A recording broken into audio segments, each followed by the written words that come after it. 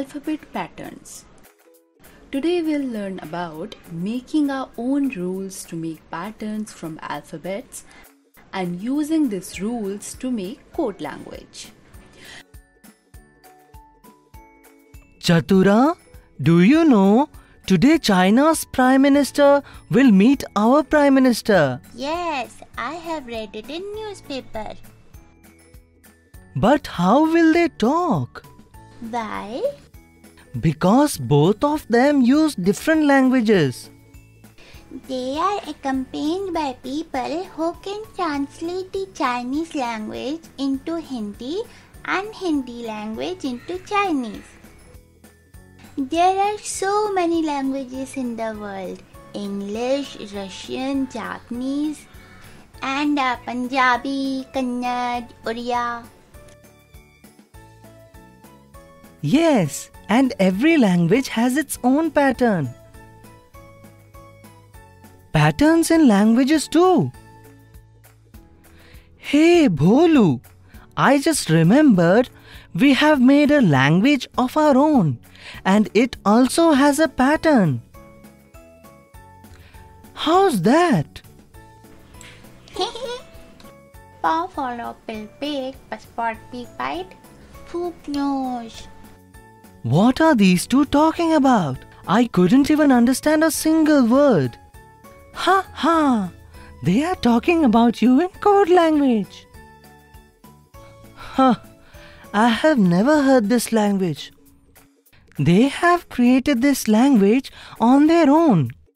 And the rule of this language is to replace the initials of each word by P. Why so? Pipo. Yeah, I got it. Pya, pie pot pit. Absolutely correct. Kids, you can pause the video to translate the words and try to talk in this language.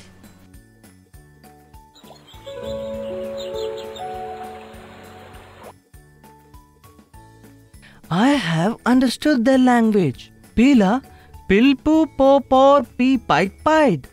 Pass, passports. Pike. Now tell me this. What? Sittona jolide? Vad maret sittona jolida? What are these two talking about? They are again using code language. But this is different from the first one. Bholu, there is no fixed rule for making patterns. You can use any rule to make new patterns and code. What is the rule for this code? We are speaking each word in reverse order. Kids, you can pause the video and use this rule to speak or write something.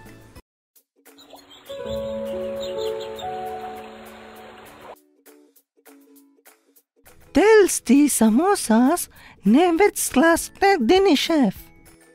Say, say.